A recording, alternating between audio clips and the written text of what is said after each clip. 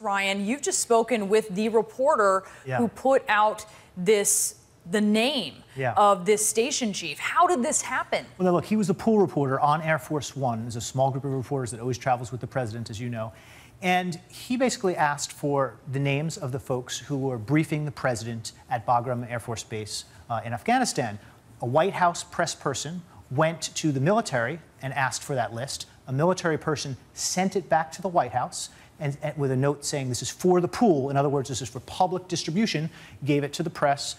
The press then wrote up, a, the, this, this reporter then wrote up a report uh, with that and other information, sent it back to the White House, As is customary. As is customary. To be sent out so the White House saw it before. and then the White out. House pushes the final send button. Now, look, these are, you know, frankly, the White House aides that do this are, are low-level people. Um, and the question is, how did that name get on the military list Yes. that was sent to the White House, that was sent to the reporter? What's that the greater danger here?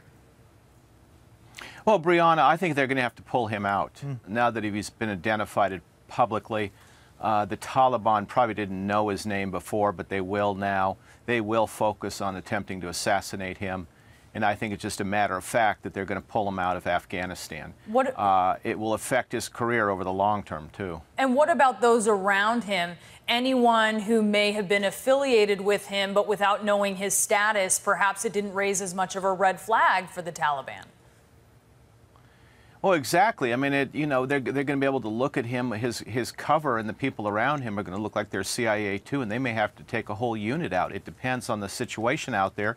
But this is a serious breach of security, and the problem is White House staffers and some of the military don't understand the significance of cover and what it means for the CIA.